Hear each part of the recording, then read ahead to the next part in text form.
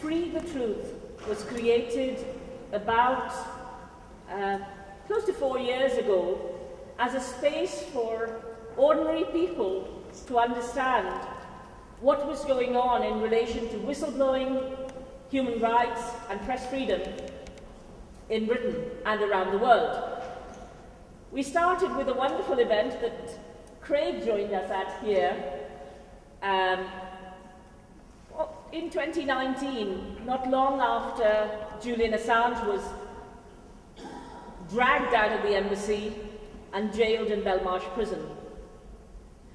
My co-host, Professor Ian Munro, and I saw this as taking our academic work into a, a more real-world space to allow us to debate different points of view with, with candor, with respect, and with integrity. I'm so grateful to see you all here today. Thank you so much. I know we have people in the audience from Norway, Germany, from various other parts of the world who have traveled over specifically to be with us here. We are also joined today, thanks to the wonderful camera people you see here and those restreaming online, by people in the US and in other parts of the world, far across the seas, who, who care about what we care about, which is justice, peace, and equality. And to have justice, peace, and equality, we need truth. Truth is the fundamental for that. And it is that truth that we are seeking to defend today in defending the right of Julian Assange to serve as a journalist and a publisher and tell the truth about US war crimes. War crimes like the murders, the rape, the torture, the destruction of civilization that we've seen, as well as the war on terror, the impact of the war on terror, that saw what you see around the room today, documented by those who suffered at Guantanamo. So around the room you will see art from Guantanamo and the various prints.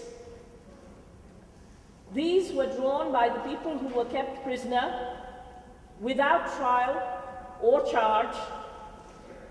Mansour Adayfi, whose work is on stage, went in as a teenager. He was there for 14 years.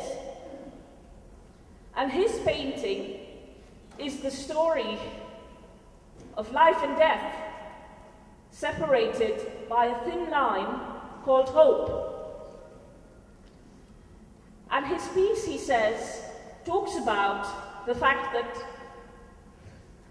the US cannot keep people dead in Guantanamo, or essentially living but dead in Guantanamo, while continuing to, you know, we, we, we in Europe, we in the US cannot keep people dead while continuing to cherish our lives. Because our lives are incomplete and not alive unless those around us are alive and happy too. And it is in this spirit that I welcome you and some of our very esteemed guests in the audience, including the wonderful Selma James, who is here from the long-standing campaign for justice for women and for racial justice and indeed for societal justice. So I'm very grateful to her and to Lisa, who was here at our first event, speaking.